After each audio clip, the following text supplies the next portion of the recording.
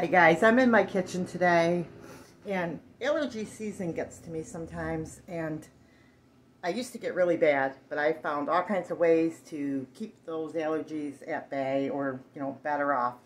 One of the things that I use is a neti pot.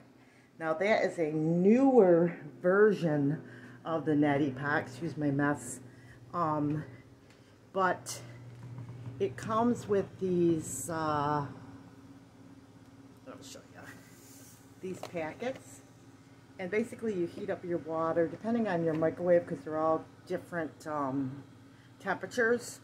So you heat up your microwave and put the neti pot in. I do mine for 40 seconds I dump the packet in.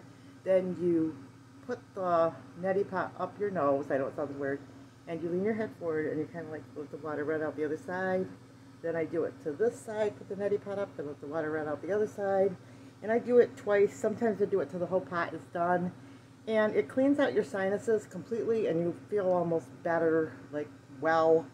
And um, I've been using it for a while and I really like it. And I have, like I should say, for years.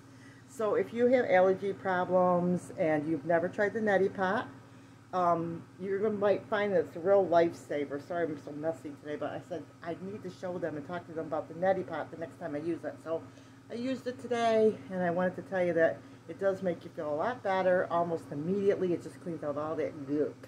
So if you've never tried a neti pot, ask your doctor about it if you're not sure. But you can get it over the counter at most stores, and anyone that is a neti pot user will say, oh yeah, it's a big relief. And a lot of people will say, oh, I never put anything up my nose. So anyway, that's what this video is about.